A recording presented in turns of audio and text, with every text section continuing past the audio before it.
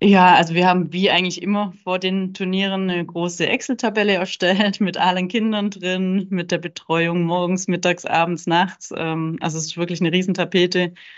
Ähm, da muss man schon Stunden auch investieren und zusammensitzen mit den Großeltern, mit den Schwiegereltern, mit den Männern, ähm, Freunden teilweise auch, die unterstützen und eben schauen, dass die Kinder versorgt sind. Natürlich äh, ist es wünschenswert, dass man in Zukunft mehr Frauen sieht. Äh, wir sind aber, das haben wir, glaube ich, in der Vergangenheit schon immer betont, kein Fan der Quote. Also wenn Frauen sich beweisen und die Leistung bringen, muss der Weg für die Frauen offen sein und äh, die Gleichberechtigung gelebt werden. Wir geben mittlerweile auch wahnsinnig viel Autogramme. Ähm, bekommen Nachrichten. Ich habe jetzt gerade auch während dieser EM jetzt wieder eine Nachricht bekommen von einem Vater, der schreibt, dass seine, seine Tochter eigentlich nie so richtig Handball spielen wollte und ähm, jetzt auch da in der Halle dabei war und jetzt möchte sie unbedingt Schiedsrichterin werden. Und das sind natürlich so Nachrichten, da, da freut man sich riesig drüber.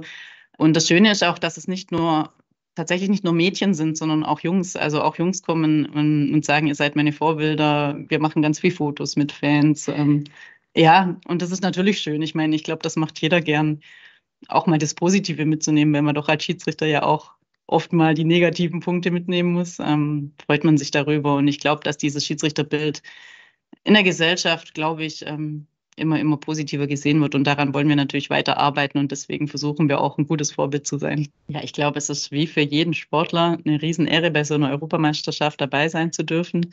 Das ist das Ziel von jedem, irgendwo ähm, so ein Turnier mitmachen zu dürfen. Und das ist natürlich ja, Wahnsinn, gerade bei der EM hier im eigenen Land mit den vollen Arenen. Man muss einfach auch sagen, also ein großes Lob an die Fans hier. Es ist toll, dass nicht nur die deutschen Spiele ausverkauft sind, sondern auch fast alle anderen Spiele und wir sind noch in der Vorrunde. Also es ist überwältigend und macht einfach einen Riesenspaß.